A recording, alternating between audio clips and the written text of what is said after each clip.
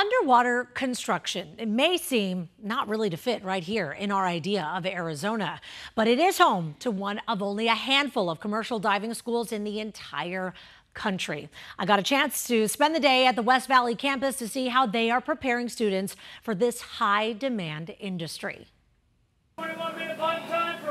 In the world of underwater welding and construction, communication is everything.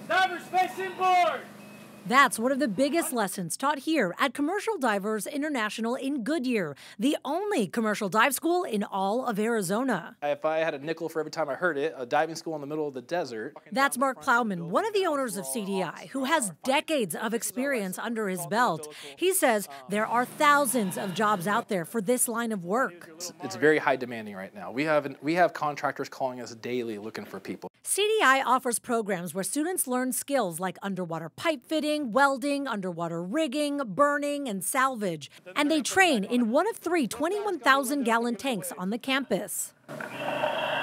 And while demand is high, there is a trade off because underwater construction is often considered one of the most dangerous jobs you can do. There's a lot of unknown variables in the water. I mean, we're in different conditions. There's weather, there's, you know, tides, there's, you know, sometimes there's zero visibility when you're working. You I mean, literally you can't even see your hands in front of your face.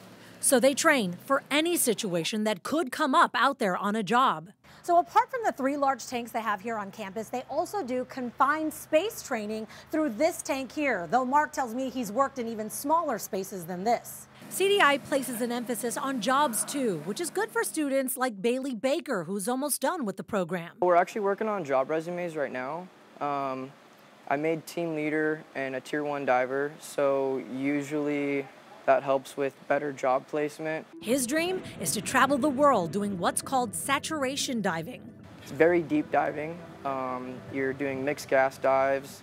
Um, you're walking on the bottom of the ocean floor, working on pipelines. With aging underwater infrastructure and growing marine construction, this is a job that isn't going anywhere. And for those looking to train, they can look no further than our own state.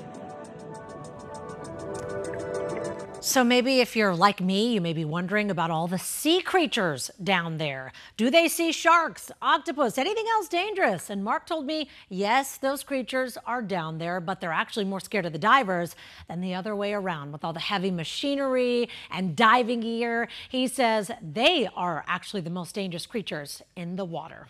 If you're interested in learning more, you can visit commercialdiversinternational.edu.